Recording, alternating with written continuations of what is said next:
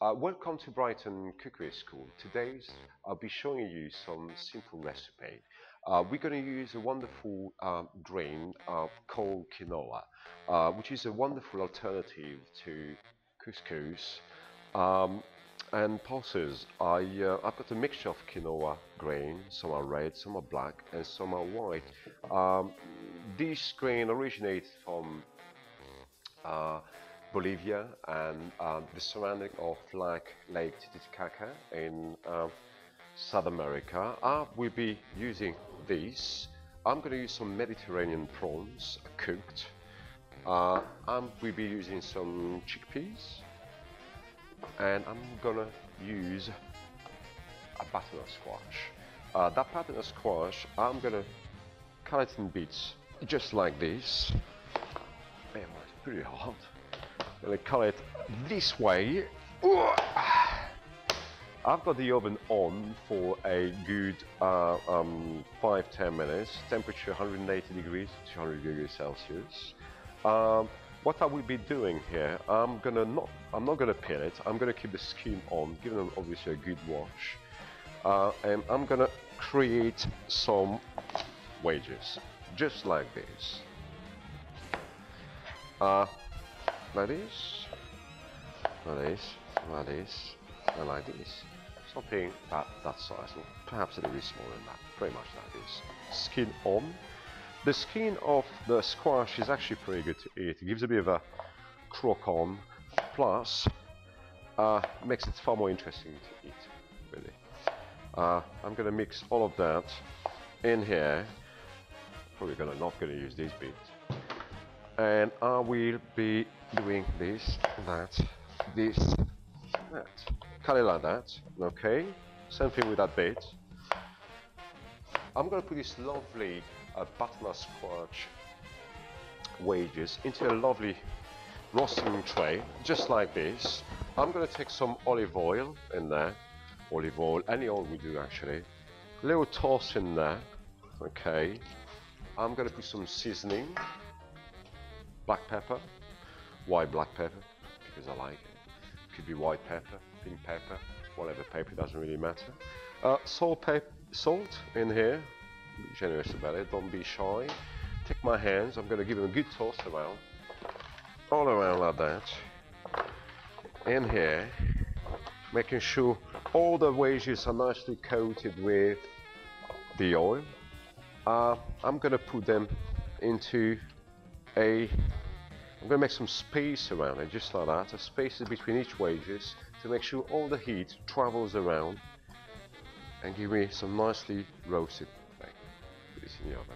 Be back in a minute. Welcome back again. Uh, I'm going to show you how to make some Cavolo, Cavolo Nero, which is a, a, type of brassica family, a cabbage, an Italian cabbage, uh, who's nice and elongated that. Uh, pretty easy to pick. Good wash, first of all. What I'm going to do, very simple. I'm going to take this thing, I'm going to take my hands and just run it down just like that. The stalk you could eventually eat it, but I mean, not really nice. Uh, I'm going to carry on doing that. That. Add a bit of speed in there, you can go very quickly. When the leaves are very small like that, you can, you know, you can leave it like that. It like this, and then carry on as fast as I can. Yes. Okay. There we go. In here. And the best way to cook green vegetable like this, I personally, um, I don't really want to mess them around. I don't want to add spices upon spices. I want to keep it as simple as possible. Okay. Uh, obviously, you know, cabbage is relatively versatile, therefore you can do whatever you want. But the way I'm going to do it is very simple. I'm going to, what we call it, braise my cabbage. I'm not going to add pancetta. I'm not going to add smoky bacon. I'm not going to add any meat or anything like that. I want to keep it simple, very simple. I'm to take my a pot, okay. Uh, I am not to put some water in my pot, bring it to boil and adding my cabbage. No, no, no, no. I'm gonna take simply a pot. I think that should be enough. Just me and you, right? I'm gonna take pot just like that, put it in there, put my cabbage in there, just as it comes, you know, the way I just did. In here, simple. In here, maybe cut a little bit if the big the, the leaves are too big, just like that. Okay, I'm gonna add. As I put everything in here, I'm sure you're hungry, right? But put some salt in there. You know, just amount of salt in there. People keep telling me you put too much salt. No, I'm going to put some black pepper in here, okay? And I'm going to put a little bit of water, about half a cup of water, a lid, and in a back burner for a good 10 to 15 minutes until my cabbage gets softened. I like to eventually keep a little bite in there and then serve it simply. Back to cooking.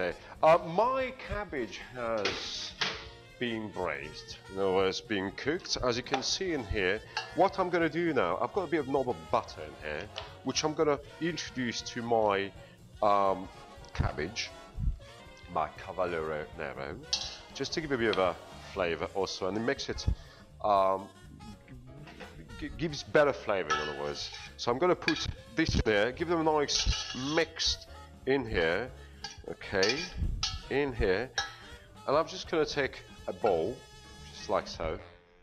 And I'm just going to serve it straight away. Okay, this cabbage will be perfectly well for any type of stew, as a side um, vegetables in here. Let's put in there. Let's drain all the water away, just like this. Put it on the plate like that. Lovely winter dish. Well, actually, you can have it anytime you like, really. You don't have to wait for winter for these things in here. Get rid of that little bit in there, sorry. Put it back again, that's how it's doing its job. Add another bit of butter in here, just a little bit, okay. A bit of butter once in a while, doesn't really hurt. Okay, Habanero Nero. The next one is, I'm going to take my bowl in there. Remember the uh, butternut squash? They managed to get a nice colour, you know. They're not entirely uh, they're not falling apart, you know, have managed to retain all their shape. That's the thing. Uh, cutting the right chunk, the right size, too small, uh, everything will start to disintegrate, fall apart. Uh, you will retain the flavor. I mean, uh, on the plate, it will look not as amazing as if you cut it in big chunk like this. Okay. Uh, the skin wonderful flavor. Uh, and also again, a bit a uh, crunch into it. So I'm going to put this in here, just like that. Make sure, I'm using my finger here, the spoon actually. I'm going to put everything in here. Okay, let's get rid of that. Remember the quinoa, not the quinoa, quinoa. Okay, I'm going to put some in here, not too much in here. The next step, I'm going to put those blanched cooked chickpeas okay, which is basically a bit of chickpeas soaked overnight uh, and cook until tender. Okay, uh, you can. This one are actually pretty hard still. I, I, personally like that little crunch behind. So I'm just gonna put everything in here, not everything, some in there. Okay, I'm gonna take my prawns in there, and I'm just gonna. Sorry, forgive me. I'm gonna take a blue chopping board. Okay, health and safety, wouldn't like to disappoint them. And I'm to take some in there. I'm to call it lengthwise in here, just to make sure that little intestine bit discarded, because if you don't really want that, it's not really nice to eat.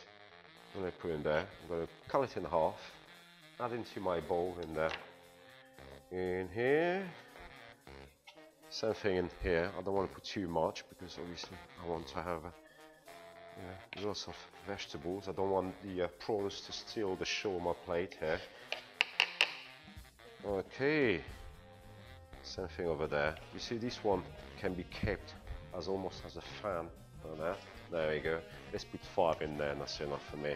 You can add some herbs in there if you want. Some parsley, coriander, chives, chervil, pretty much anything you like. I'm gonna keep it that way. Not much. Uh, dressing wise, you can. I'm gonna put some virgin olive oil. I'm gonna do the Italian way. I, I, wouldn't like to put everything into a mixer, shake it, and having something really thick. If you go in Italy, any restaurant, you always end up with olive oil, vinegar separately, and so on. So I'm just gonna take a few drizzle in here, in here, just very simple virgin olive oil. Uh, tremendous flavor. Doesn't need to be, you know, little mix as I go along in here, in here. I. Uh, and I'm gonna add ruby grapefruit in there. Oh, chopping board away. We don't want this one anymore. Change my knife. Cut it in there. In there. Sorry, you see that? Sorry about that. In here. In here. That will add that little tangy, that little vinegary kind of flavor. I'm gonna take all my uh, skin away. I mean, you see, like butternut squash, quinoa, quinoa, sorry, uh, uh, prawns, you can put the little ones, it doesn't really matter, chickpeas, and I'm going to put my grapefruit. And what I'm going to do here, as you can see, I'm going to take all the uh, skin off that, in here, cut it a little bit longer, a little bit more like that, put my bowl in here, take my knife, and then getting rid of all the segment, or getting rid, taking all the segment off and leaving the skin in here. In here. There we go. Voila. Maybe more in that. Okay. In here. You see, so simple to do that. So wonderful. Grapefruit right in season. We are late winter, so it is a wintry kind of fruit. Um, I like ruby because I love the color and I think it's slightly sweeter than the other one. And I'm going to put that in here. There we go. Put in there. Voila. And with what's left, little squeeze, taking all the juices there. You know, I mean, you, you know what I mean. Replace the vinegar, the lemon, you know, in here. I've got my salt, I've got my pepper, I've got pretty much everything in here. And in here, got a good toss around. You see, you can always take some parsley, take a few sprinkle, put it in there, in there, in there, in there. Gonna take me plate in there. I'm gonna use red this time. Sorry, gonna put my thing in here. Nice, homey, family. Uh, cuisine. My children loves it. Very simple to make. I mean, there's no, I mean, there's no excuses to not. I mean, sorry, I, I'm so salivating that I can't find my word to describe my experience here. I, uh, in here, Bon appétit.